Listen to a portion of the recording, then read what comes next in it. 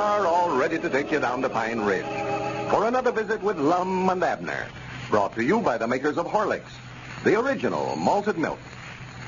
I wonder how many of the women who listen to Lum and Abner have to watch their weight, and how many of the men, too. Now, I suggest that you particular folks listen to this mighty carefully. In a recent weight-reducing test in Chicago, women actually lost an average of three pounds, four ounces in less than 10 days. That sounds interesting, doesn't it? Well, here's how they did it. They used the Horlick Weight Control Plan, which consists simply of drinking a glassful of Horlick's malted milk in place of a heavy, hard-to-digest lunch. Simple enough, but how safe and effective this plan is. Safe because Horlicks is an exceptionally well-balanced food, a good source of the minerals and vitamins essential for providing correct nourishment. And effective because it cuts down on a common cause of excess weight, too many calories. So there you are, all you overweight folks. There's the answer to your problem. The Horlick Weight Control Plan. You can get the necessary Horlick's malted milk from your druggist in either natural or chocolate flavor. And now, let's see what's happening down in Pine Ridge. All the arrangements for Lum and Abner's new picture show, the Pine Ridge Planetarium, have been running very smoothly until yesterday when Squire Skimp propositioned the old fellows to take him in as a third partner. And when they refused, stated that he was going to open a picture show of his own, run them out of business. As we look in on our old friends today, we find them down, down at the Jot 'em Down store, very much worried over Squire's threats. Listen. Well, Abner, it's either let him in with us or he's going to open up a show of his own, and you know that won't do. Well, let him open one up. It'll be just as bad for him as it will for us. Yeah, but there ain't enough business here in Pine Ridge for two picture shows. He never would have thought about putting one in if it hadn't been for you flying off the handle and getting him mad. I never flew off the handle. I just said that we didn't want no third partner in the business, and I don't. Yeah, but you could have said it in a heap nicer way than you did. Telling him that if he's gonna if he's gonna have another partner, you wouldn't have him. Well, I wouldn't either. Yeah, but you can't come right out and say things like that to folks. You got to handle a feller like Squire Skimp with the gloves on.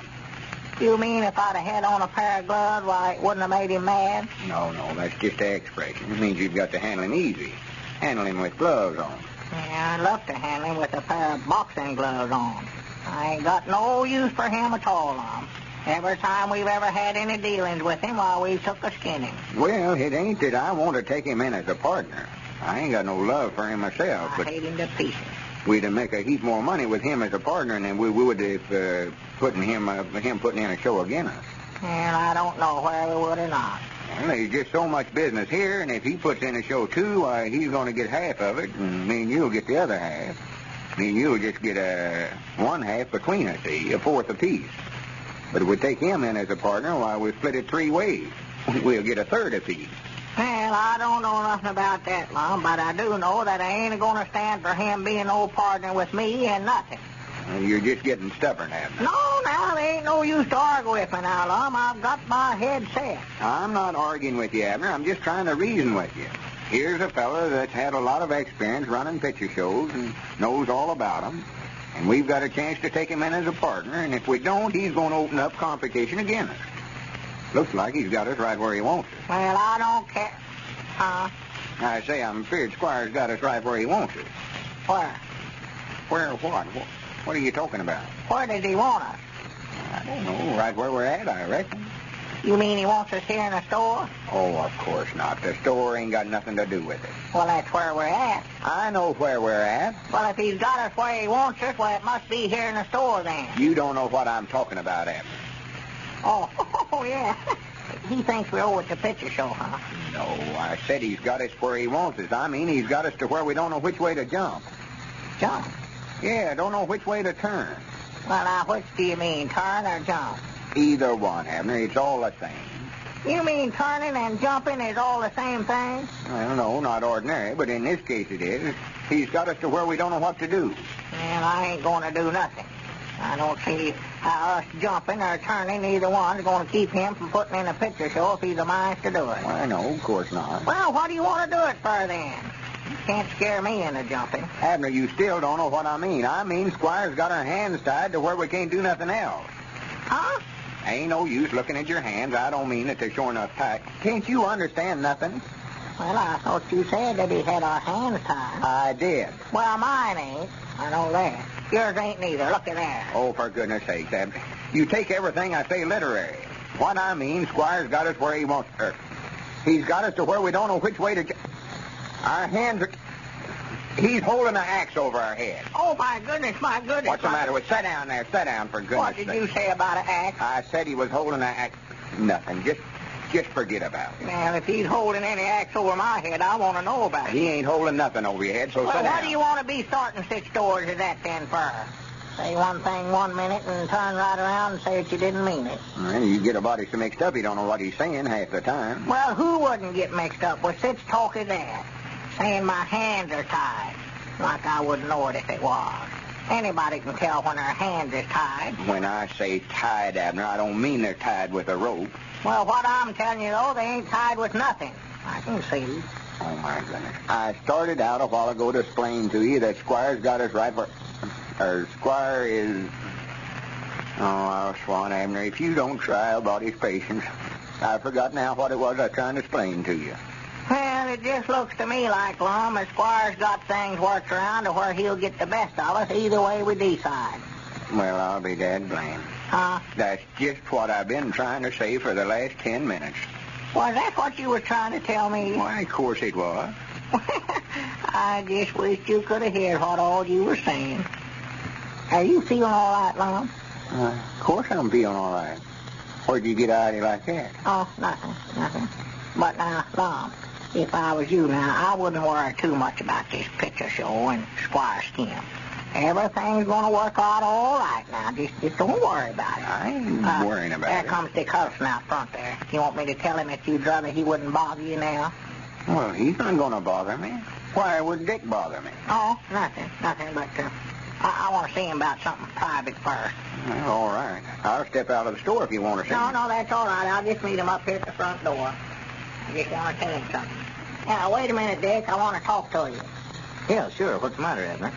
I, I, I just want to see you before you got back there with Lum. Uh, Dick, I, I'm just afraid that Lum's been worrying too much about this picture show. He's having spells. Having spells. Yeah, I, I believe his mind is a wandering. He's sort of addled. You see, Squire Skimp come over here yesterday and tried to get us to take him in as a third partner in our picture show. And when we wouldn't do it, I just balked, just flatly refused to do it. And then he come out and made him mad. He says now that he's going to open up a picture show here in a competition against us. And I think Lum's just worried about it so much that it's just affected his reasoning. Well, I'll declare. He, he was sitting back there a while ago. Appeared to be all right. Then all at once, why, he got it in his head that Squire had our hands tied together and was trying to kill us with an axe. Well, for goodness sakes, Abner. And now he appears to be back in his right mind again. It just sort of comes and goes, looks like. But uh, I thought I better tell you so that you could sort of quiet him down if he gets started on it again. Yeah, yeah, sure. Well, let's go on back there. Well, howdy, Lum. Well, hello, Dick. Come on back. I want to talk to you. Yeah, uh, Dick's your friend, Lum. You know him, don't you, Dick Huddleston? Why, of course I know him. What's eating on you anyway, Abner? Sit down, Dick. Yeah, thanks. How you feeling, Lum? Why, just only tolerably, Dick. Been worrying myself half crazy. That's what I want to talk to you about. Oh, now, Lum, now you're all right. Now you just been worrying too much, is all. Uh, Squire Skimp's been trying to buy a third interest in our picture show and says if we don't sell it to him, he's going to open up another in here in Pine Ridge and competition to us. Oh, well, I wouldn't let that worry me, Lum. He's just bluffing. Just trying to force you to sell. Well, that's just the trouble about it. Can't tell where he's bluffing or not. He's got me to where I don't know which way to jump. Got our hands tied, looks like. There it goes, Dick. Uh, change the subject. Get him to talk about something else quick. Sort of holding an axe over her head. Oh, my goodness, my threatening to goodness, put it- my goodness. Abner, what are you whispering about? What's the matter Oh, with you anyway? Nothing, nothing, not a thing now, now. Don't get excited now. Just, Well, just sit I down. can't talk to Dick and you over there whispering in his ear all the time. Uh, what would you do, Dick, if you was us? Why, he won't go through with it, Lum. Just let him pop his whip. Uh, In the first place, where would he put it? There's not another vacant building in town that he could rent. No, that's right. I don't believe there are. Not a thing. And if he puts up a new one, why, it'd be a couple of months anyway before he could get it ready. That's a big job putting up a theater building. Granny's, I hadn't thought about that. Why, sure. You fellas just sit tight now and let him do the worrying. Well, sir, I believe you're just right about it, Dick. I hadn't thought about that, having to put in a new building and all. Why, sure he'll have to. He couldn't put in one if he wanted to, could he? Well, no, I don't believe he's got the money left. I don't believe there's a thing in the world to it. Well, in the first place, as long there wouldn't be any point neither in taking him in as a partner. Just a minute, Dick. I believe that was our ring, man. Yeah, sure. Go ahead. Yeah. Uh-huh. Hello? This is him talking. you don't know what he's doing right now. Who? Oh, howdy, Mose. Mose Moose. Well, How's that, Mose? I'm just man. What was it? Well, what's the reason you came? Oh, Horace could have plenty of. Well, here now. I done made a deal with you, firm. That is up till today. Why, you said the lodge would be closed all summer and they wouldn't have no use for them chairs. I bet he don't know what he's saying right now. Squire Skimp. Well, what's he renting the whole lodge hall for? Huh? Oh, my goodness. Hi, Granny's Mose Moose says they've rented them chairs and the lodge hall and all. The Squire Skimp says he's going to put in a moving picture show in over there. Granny, Well, it looks like that axe that was hanging over Lum Abner's head is about to drop. Did you know that the state of your children's teeth has a large bearing upon their health?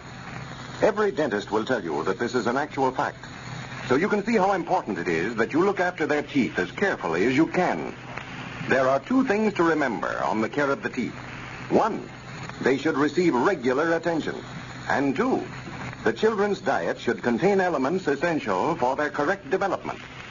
The first you can get by taking your youngsters to the dentist regularly and following his advice. There is no substitute for that. The second, the essential elements including minerals and vitamins are to be found in Horlicks malted milk. Just remember these two things and you'll have little to worry about your children's teeth. You can get the Horlick malted milk from your druggist in two flavors the children love, natural and chocolate. This is Carlton Brickert, speaking for Lum and Abner and Horlicks, who now bid you all good night and good health.